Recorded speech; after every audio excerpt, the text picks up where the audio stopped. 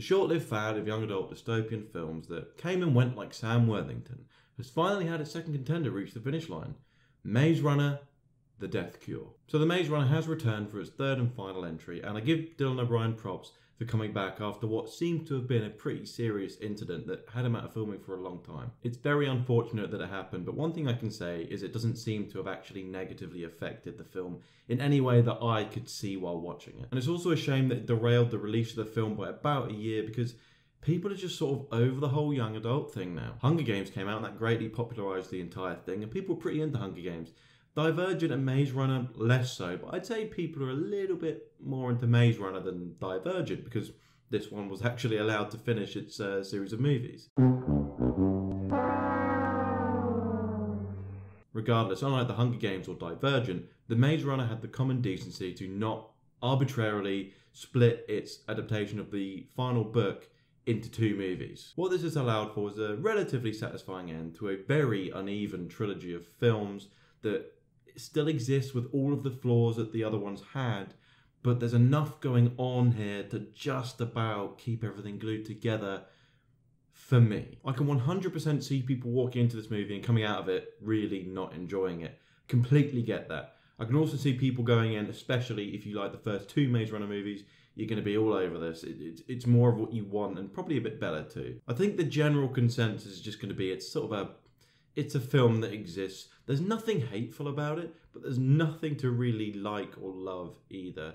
It just sort of comes in somewhere in the middle and is relatively enjoyable. I can't be too enthusiastic about really anything. The bottom line is, and this is something that has plagued The Maze Runner since day one, and especially with that sequel, The Scorch Trials, that was bad. The Maze Runner series, straight up, has bad characters. They are all pretty sucky and Dylan O'Brien has a few moments, and it's not his fault, it's just the way he's been written.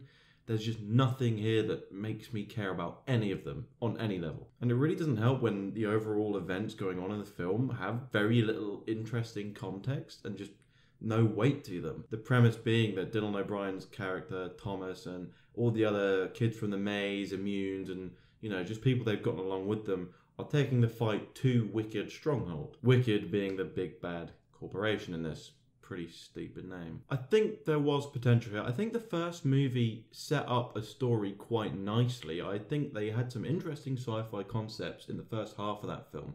And then what we ended up with at the end was a big sort of cliffhanger setup for these at least two really interesting sequels that could have expanded on these concepts that had been put into the film.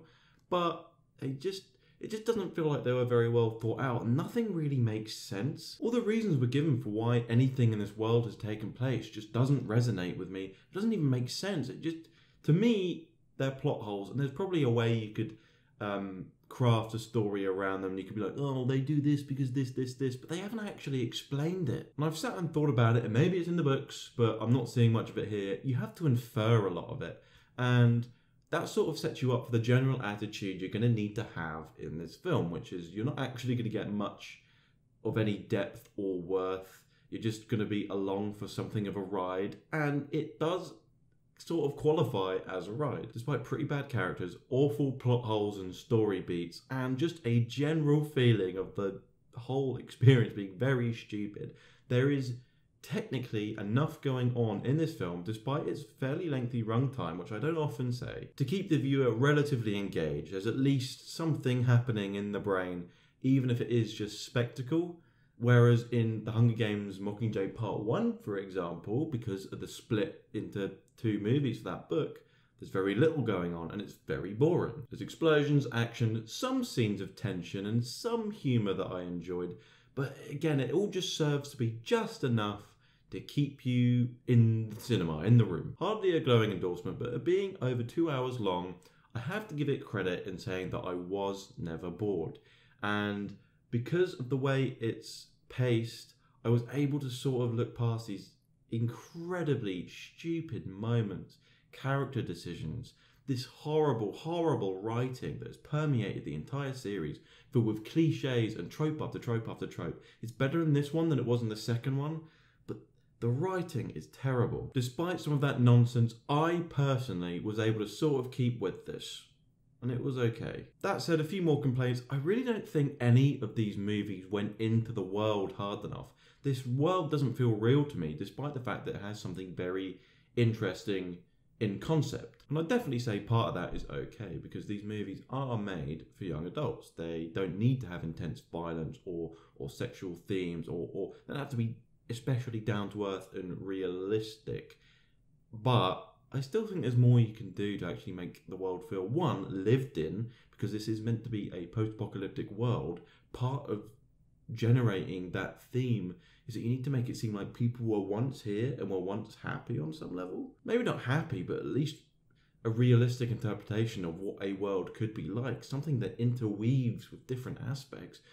This just sort of feels plot there, and technically they do show evidence of life, but I don't want evidence. I want like feelings. I want to actually believe it. I don't want to feel like these things were put here just to convey that belief to me. But even the current world doesn't really have any interesting themes. I feel like they, in principle, had some, and they tried to put in some black and white areas um, with respect to the organization that is Wicked. Um, I think they had ideas there, but they don't really come to fruition. The whole series, and it, it's still in this movie, which is why I keep referencing the whole series, is a general sense that everything was sort of thrown together with very little planning. There wasn't really much thought put into it as a cohesive piece. You see ideas come, you see ideas go, you see ways out of situations that are extremely contrived. It's as if someone thought, oh, this is a really good idea. Oh, but it doesn't really fit with everything else. Oh, but it's a really good idea. We'll keep it. With that said, I'm going to have to give Maze Runner The Death Cure a 6 out of 10. I will admit that is quite a flimsy score, but I just can't deny that I was somewhat with it the entire time. I could hardly ever go and confidently tell anyone it was good but it was a film. That said, if you are actually into the Maze Runner movies, I think you're going to really enjoy this. So take that as it is. I think that pretty much wraps it up. So goodbye. I need to think of a fucking outro for these things.